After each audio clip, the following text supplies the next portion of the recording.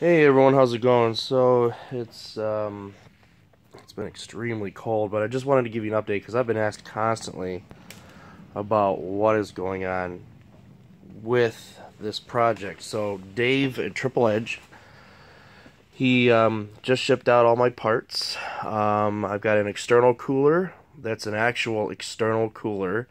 So I'm going to be bypassing the factory cooling system so I can get rid of all that crap. Um, I also have obviously the new torque converter and then the rebuild kit for the transmission. Uh, the transmission shop in the area is going to do it for me. So that will be taken care of. Um, so anyway, it's it's literally just been sitting and waiting, and it's been so cold. We've had some really really cold days, and I really haven't wanted to run the heater out here because it's expensive to run it. Um, so I've just been kind of um, just you know doing um, little bits and pieces here and there. But uh, the garage is obviously full of parts. Here's the motor, all out in its glory.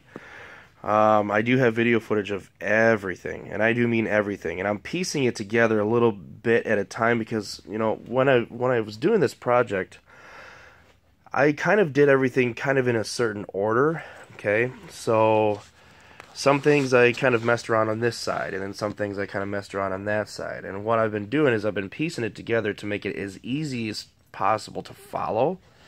So that when you, if you, take on some project like this, then it'll be much easier than the way that I did it, okay? So I've been kind of piecing it together. Plus I'm extracting some videos, individual videos uh, that I can use. These are parts to another 4T65E that actually came out of an Uplander. Um, it has nothing to do with my project, but I will get a video on that. I've been promising a video for about a month and a half now.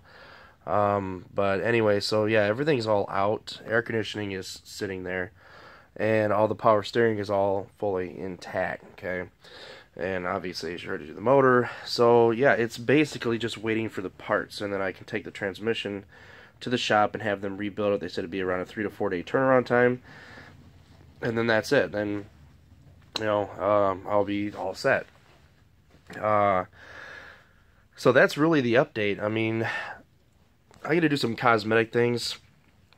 Any new wire loom, you know, in some areas you can see where some of it's kind of broke away and is fragile. So uh, there are some things that I do have to do, um, cleaning and dressing this stuff up. Uh, but other than that, basically it's just waiting for me to get the parts for the transmission and it rebuilt. So just uh, kind of wanted to give you a quick update. Um, that's where it is. It's the waiting game. So I'll keep uh, keep you posted. So cool. Take care.